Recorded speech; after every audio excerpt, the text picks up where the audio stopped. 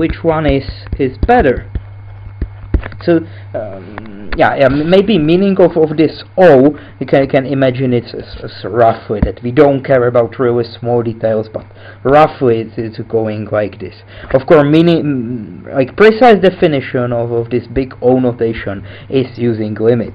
So yeah, I, I will maybe maybe get get to it, but, but this is this is um, like the, the, intuitive meaning of, of these symbols. So, so the question is which one of, the, of these programs is better. So what, what you can do is to maybe implement both of them and then and test them on, on some some data and, and uh, measure time on, on your computer, how fast is it, you will obtain some result and like uh, you can do it uh, a lot of time but still maybe maybe just your your data input is not large enough. So so these programs will behave differently when when the inputs are large.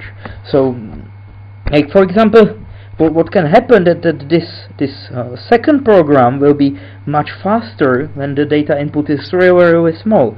But after some time it will it will get worse and worse yeah, so so it's it's quite difficult to, to test these test these things just uh, just by implementation. And I actually in, in like practical problem you will you will implement them anyway and, and try different things to make to make it uh, as fast as as fast as possible. But but mm, let's just let's just work not not so precisely here.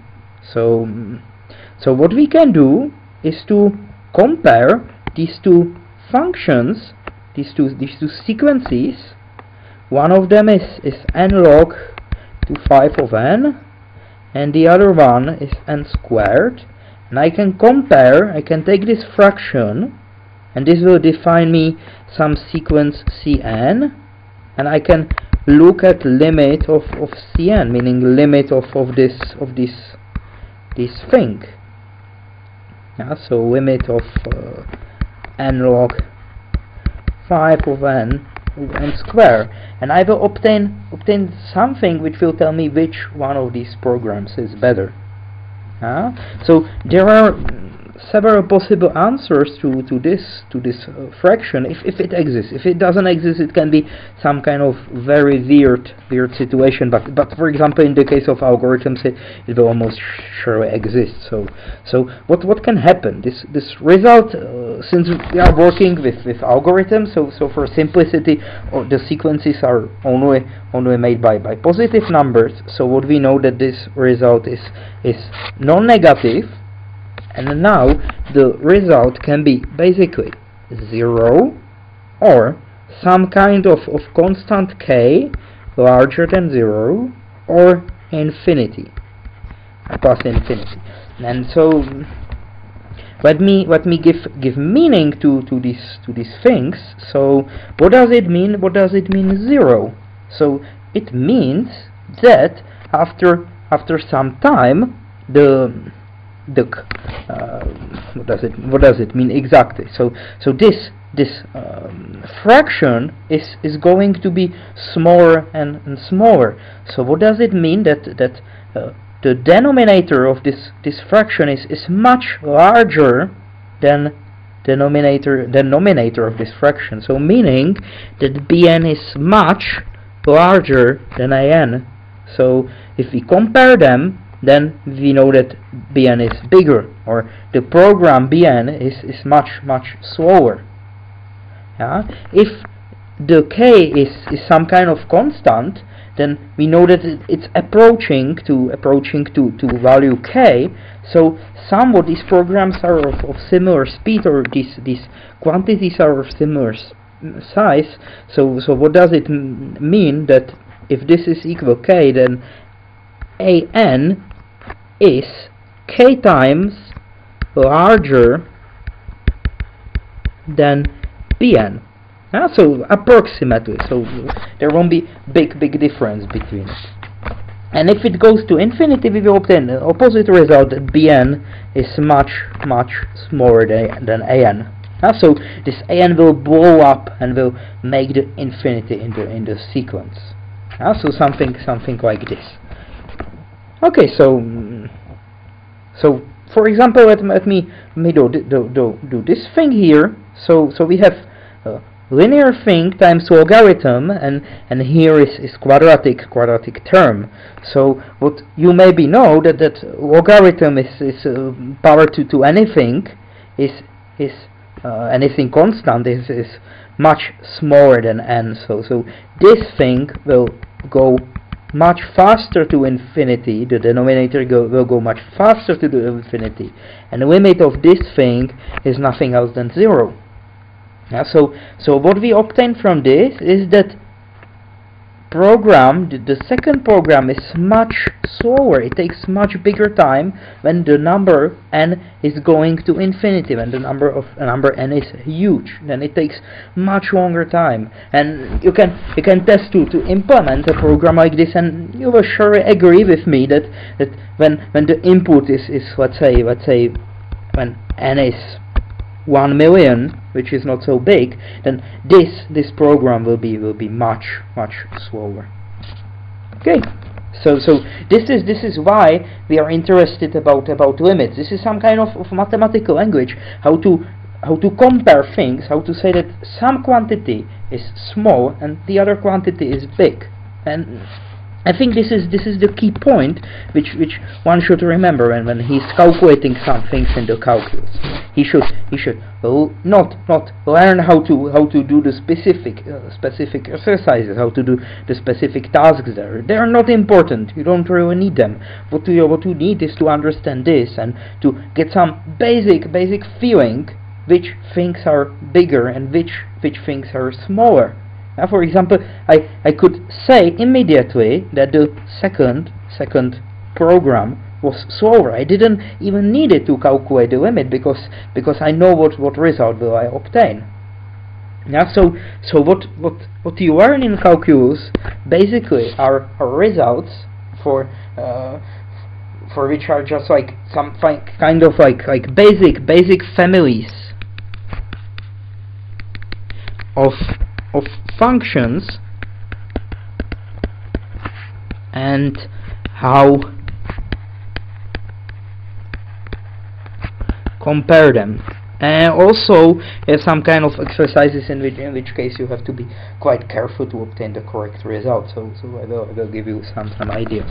But um, so let me start with the most simple simple function function in, in in the word. Uh, of, of course, this will be probably a constant function, but but like what do we have, we have numbers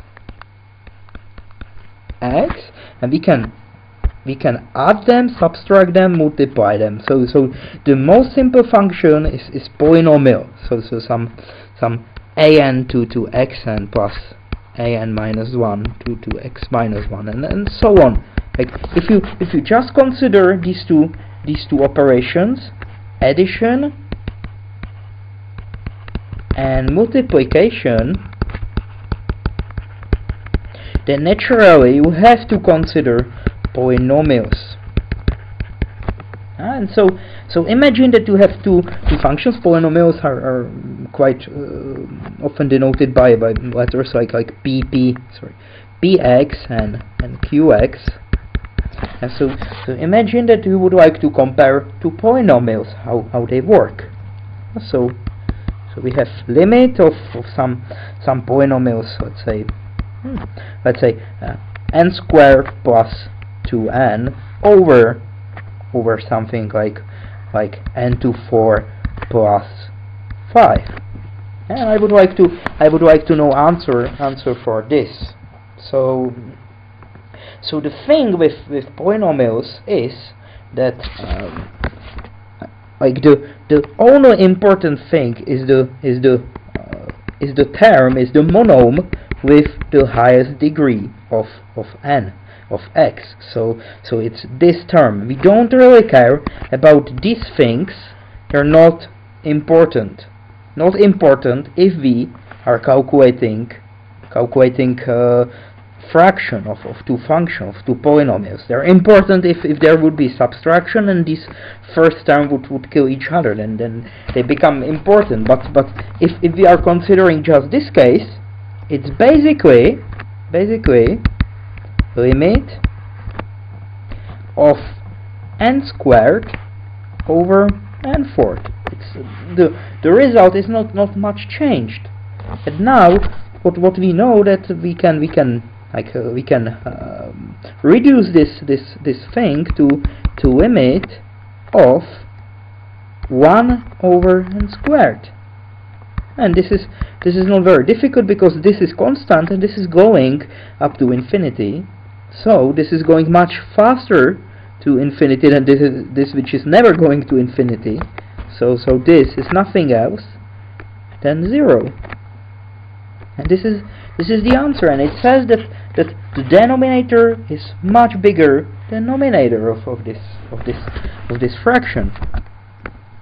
Okay so so this was this was just just one result and maybe maybe we should we should we should say uh, we should at least maybe maybe show show formally some some some kind of, of theorem which which um, which works and which we which we can use here. So so there is there is something which is called um, arithmetic of, of limits.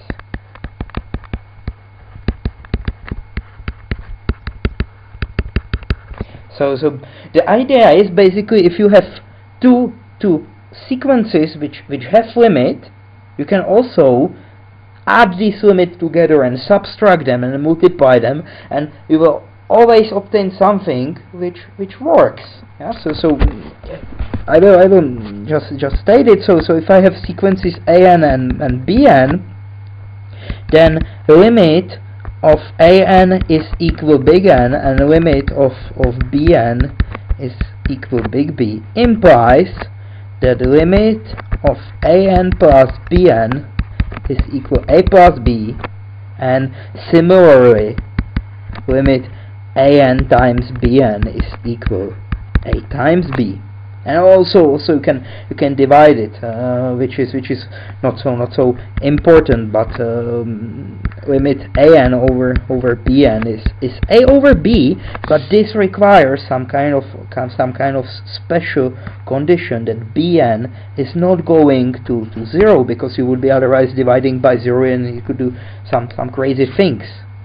So so in this in this case, if both of these these things would go to zero, we would have zero over zero, and we, don't really know because like uh, it depends which things goes to to zero uh, faster. So so the, so it would it, it you could get any any result here. So so what we need is that bn is not zero at least after some point. Yeah. So so something something like this and. Uh, so let me let me explain why why it holds and maybe maybe just just one one statement. And the other the other one are slightly more technical but it's it's the idea is the idea is still the same. Okay? So so let me let me explain why uh, this this addition works here. And so the the main idea is that if a a n is close to A and Bn is close to B. Then even if we if we add these two things together they are close to A plus B. Yeah, so let me so what what what the close means that distance of A n and A is at most this this epsilon we are talking about from from the definition of the limit. And similarly here bn and b is at most epsilon. Yeah? and the the close here will mean something else that the distance can be in this case at most two epsilons. But the thing is that that there is not not so big gap between between two epsilons and one epsilon. So from our point of view it's almost the same. And why why this this holds so it's it's actually actually not not very very difficult. Okay so so why why this holds it's quite quite straightforward. So you can can imagine what does it mean that an is, close to A. So I have numbers here, and here is A, here is some kind of, of neighborhood, which the, the all these numbers are considered to be close, meaning that size of this is 2 epsilon, and a n is lying somewhere inside. Huh? Now